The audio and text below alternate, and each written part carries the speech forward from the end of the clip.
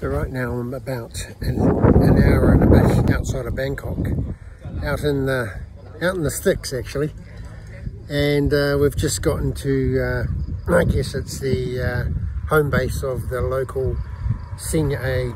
There's a couple of senior Bs here as well, and um, just behind me there you can see that's a canal that runs for some kilometres in either direction.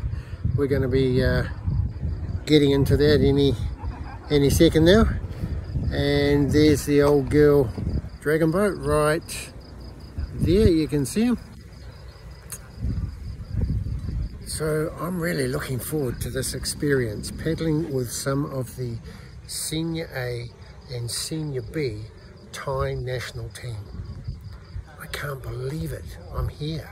I'm actually doing this uh, so I'm, I'm, pretty lucky and I'm pretty stoked. So um, I'm going to gear up because they're arriving now and uh, going to get in that boat and we're going to have some fun. Yeah, boy.